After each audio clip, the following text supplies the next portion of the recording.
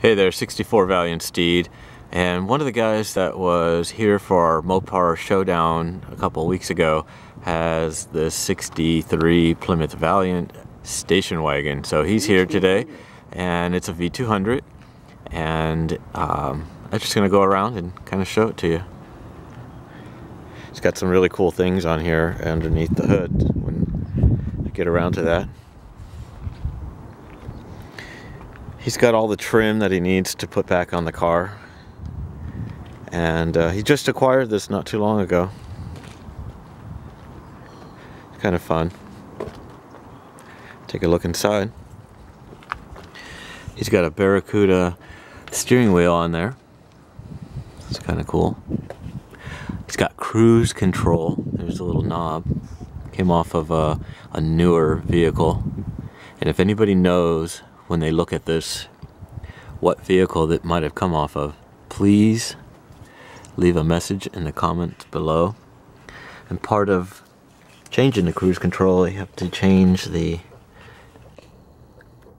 the pedal at the floor so it's not mounted to the bottom.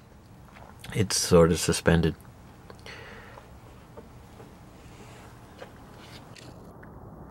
Got a beautiful headliner.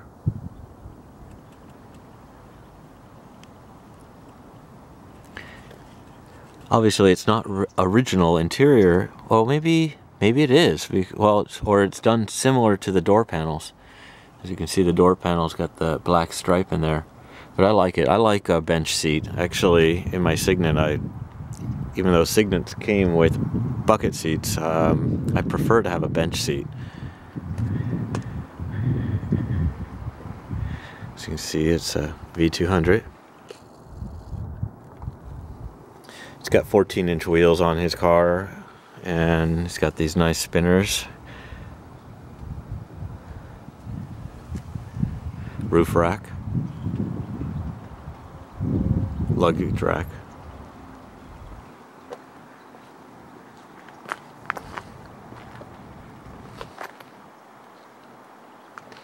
Great original license plates.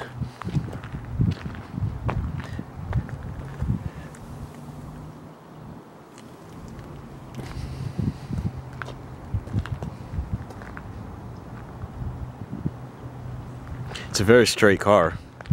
He said that the driver door and the passenger front fender was replaced, but doesn't look bad at all. One of the problems with these cars is the rear quarter panels are almost always hit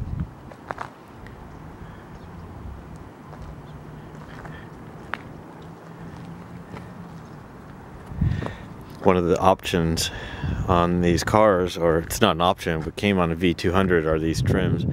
And uh, even though they weren't available in 64 on a Signet, I actually would like to put them on my car. I love that extra trim. Anything to uh, customize my car.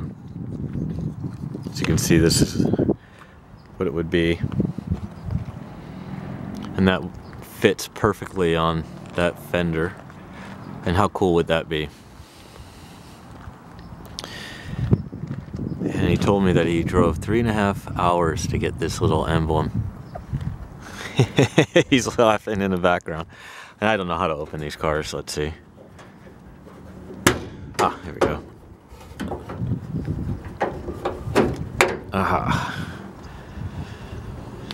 So we were looking at the um, the engine earlier. That's why the air cleaner is on the ground over there. But uh, the cool thing is, like I said, he's got the cruise control. This is the setup. All this extra brackets. And um, the linkage was removed from here. And you can see it's not on here anymore. And the speedometer cable comes from the transmission, it comes up into this box. And then he's got this other one that goes down into the other area. all these hoses. Oh, you got a vacuum, goes vacuum port. Kind of interesting, huh? And it's a different carburetor. It's a Holley, but it's not a 1920, as you might see on these cars originally. So I guess so that everything could fit, all this linkage. Um, he's got power steering. And I didn't show you that in one of the other Valiants from a couple weeks ago. It's kind of cool.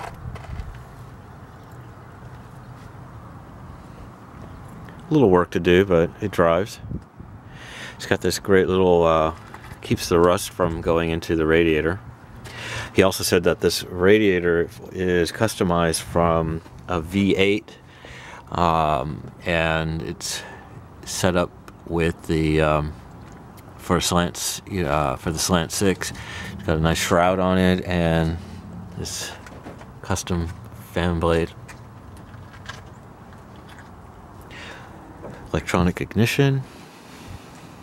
And I don't know what else I can tell you about it other than uh, I wish I had a station wagon. I'm getting bored with my convertible, believe it or not.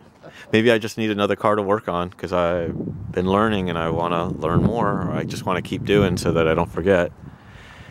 Anyway, thanks for watching and uh, we'll catch you next time.